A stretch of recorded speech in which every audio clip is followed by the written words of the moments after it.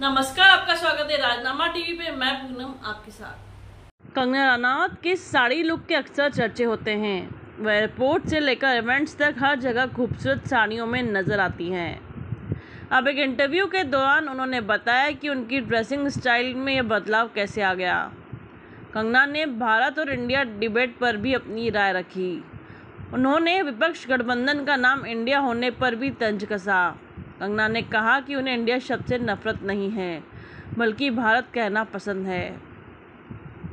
कंगना रनावत का कहना है कि विपक्ष के सदस्यों पर भ्रष्टाचार का आरोप है, फिर भी गठबंधन का नाम इंडिया रख लिया। किसी ने आपत्ति नहीं जताई, क्योंकि लोकतांत्रिक देश है। कंगना ने कहा, उन्हें भारतीय होने में पहले शर्म आती थी, इसलिए वह शॉर्ट्स और वेस्टर्न कपड़े पहनती थी।